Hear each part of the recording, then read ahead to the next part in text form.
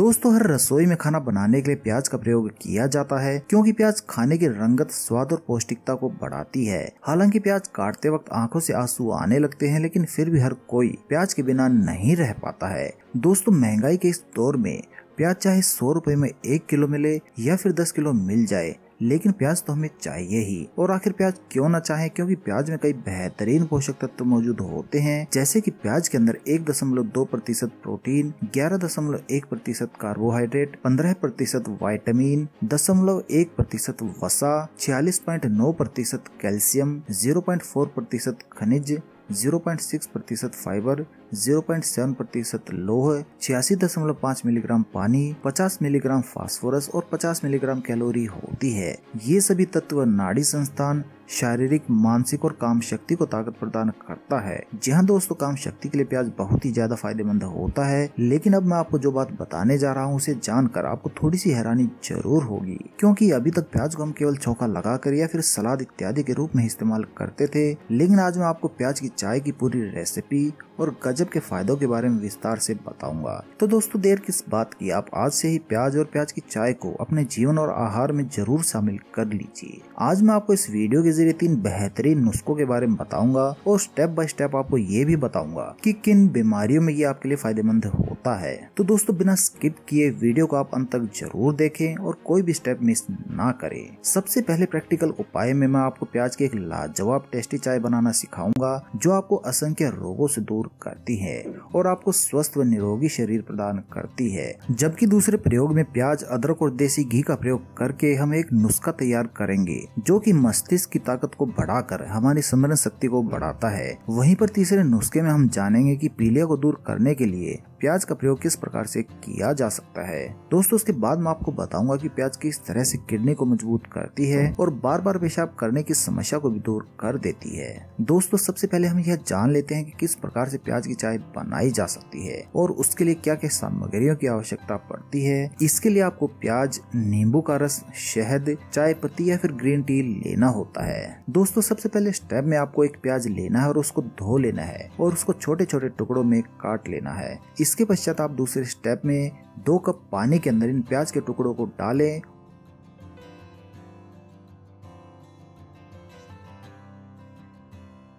और पानी को उबाल ले। इस पानी के अंदर आप आधा चम्मच चाय की पत्ती भी ज़रूर डालें।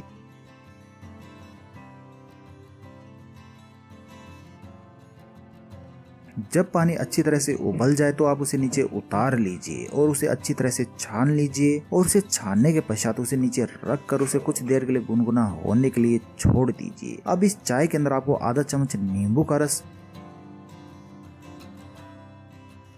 और एक चम्मच शहद को मिलाना है। इस तरह से ये आपकी चाय तैयार हो जाती है। दोस्तों, प्याज की इस चाय में विटामिन सी होता है जो इम्यूनिटी को बढ़ाता है और रोगों को शरीर से दूर करता है। ये चाय इंसुलिन को बढ़ाकर टाइप टू डायबिटीज़ में राहत दिलाती है। सिर्फ़ इतना ही नहीं हाइपर का खतरा भी कम कर देती है। इस चाय का सबसे बेहतरीन फ़ायदा ये होता है की ये वज़न को कम करती है, अनिद्रा को दूर कर देती है। इसका घुलनशील फाइबर कोलोन कैंसर के सेल्स को बढ़ने से रोकता है। ये चाय आँख से टॉक्सिन दूर करती है और त्वचा में रंगत लाती है। इसके अलावा भी इस चाय के कई फ़ायदे होते हैं। तो दोस्तों, आप दिन में कम से कम एक बार प्याज की चाय का अवश्य सेवन करें। दोस्तों, हाल में हुए एक अध्ययन में यह पाया गया है कि प्याज की चाय कैंसर सेल्स को बढ़ने से रोकती है और ये कोलोन कैंसर को ठीक करने में मददगार होती है। प्याज के अंदर घुलनशील फाइबर होते हैं, जो कि कोलोन को साफ़ रखने में मददगार होते हैं। ये घुलनशील फाइबर त्वचा और आंत से टॉक्सिन को बाहर निकाल कर कैंसर सेल्स को बनने से रोकते हैं। दोस्तों, नींद न आने की समस्या में प्याज की चाय का सेवन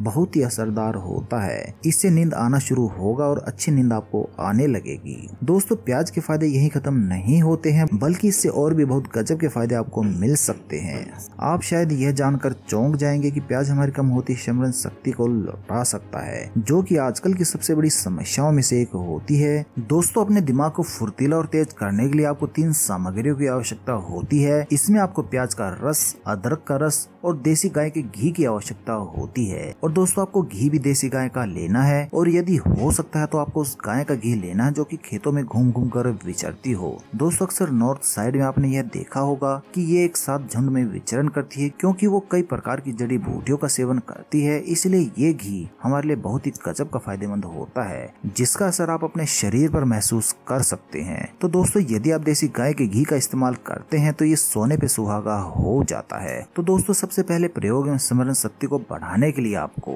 एक चम्मच प्याज के रस में एक चम्मच अदरक का रस और एक चम्मच देसी गाय के घी को मिलाना है और इस मिश्रण को आपको रोज़ाना दिन में दो बार सेवन करना है। इस मिश्रण का नियमित रूप से सेवन करने से आपकी स्मरण शक्ति बढ़ती है और आपका दिमाग तेज और फुर्तीला हो जाता है। मस्तिष्क की शक्ति को बूस्ट करने के लिए सबसे बेहतरीन उपाय होता है। दोस्तों, यदि आप पीलिया रोग को दूर करना चाहते हैं तो उसमें भी आप प्याज का प्रयोग कर सकते हैं। पीलिया रोग से परेशान लोगों को तीन चम्मच प्याज के रस में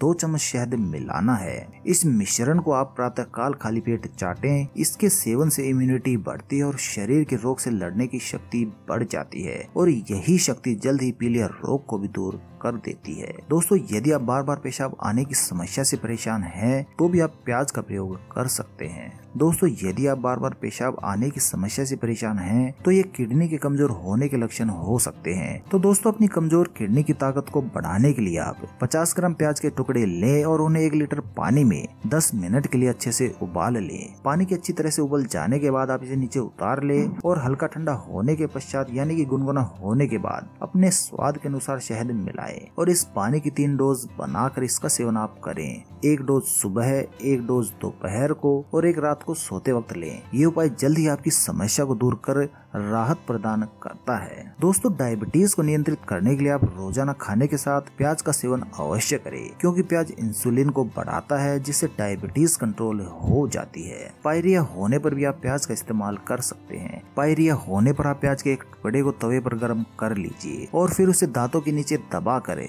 मुँह को बंद कर ले। 10 मिनट के बाद मुँह में लार इकट्ठा हो जाएगी। उस लार को मुँह के चारों तरफ़ घुमाए और फिर उसे निकाल कर फेंक दे। ये उपाय आपको दिन में चार से पाँच बार करनी चाहिए। इस उपाय को आपको दिन में चार से पाँच बार करना है। एक सप्ताह के अंदर ही आप इस नुस्खे के द्वारा पायरिया की समस्या को जड़ से निकाल फेंकेंगे। तो दोस्तों, इस प्रकार से आप प्याज की चाय, प्याज के रस से कई बेहतरीन स्वास्थ्य लाभ प्राप्त कर सकते हैं। तो यदि आपको हमारी ये जानकारी पसंद आई हो तो कृपया इसे लाइक ज़रूर करें और अपने मित्रों और सगे संबंधियों तक इसे पहुँचाने के लिए कृपया इसे शेयर भी ज़रूर कीजिए।